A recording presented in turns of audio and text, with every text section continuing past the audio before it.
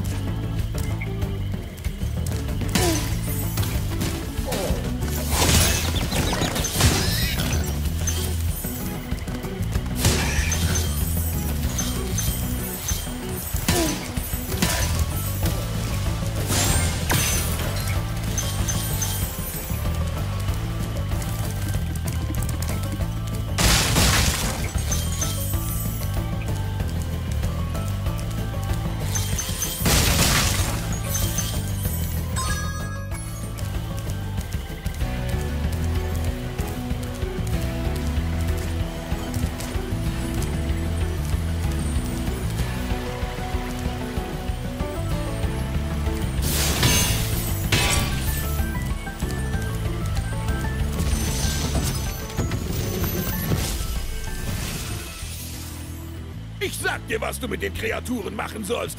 Mach sie platt, Spyro! Stampf auf sie drauf und mach sie platt! Wie wär's mit Vorstürmen und Grillen? Schließlich sind wir Drachen.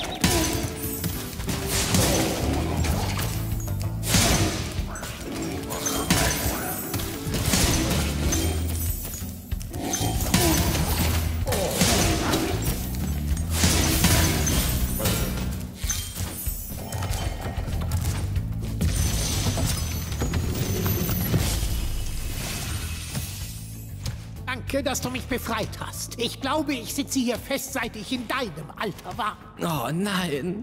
Ich weiß noch, äh, damals. Äh, ich muss los.